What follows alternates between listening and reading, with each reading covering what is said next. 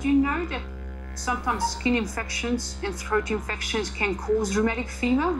Ah, no, I didn't. Okay. Also, some children don't go to doctors as often as they should, okay?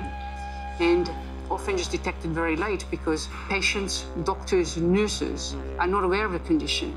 So everybody should know about this and learn about this, maybe through regular visit to health clinics.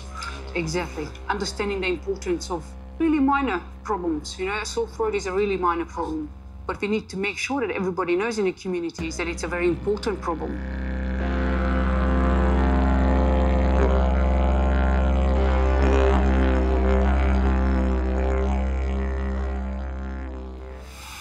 That sore throat is the result of an infection by the highly contagious group A streptococcus bacteria. It's commonly called strep throat. If left untreated, this throat infection can lead to acute rheumatic fever. This is when a child's antibodies, the inside hunters that protect the body by getting rid of invaders that may cause harm, destroy the strep bacteria.